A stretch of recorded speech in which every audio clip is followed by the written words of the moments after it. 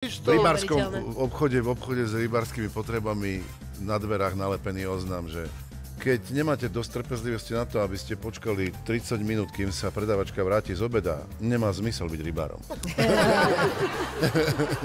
Dobre, to je ako...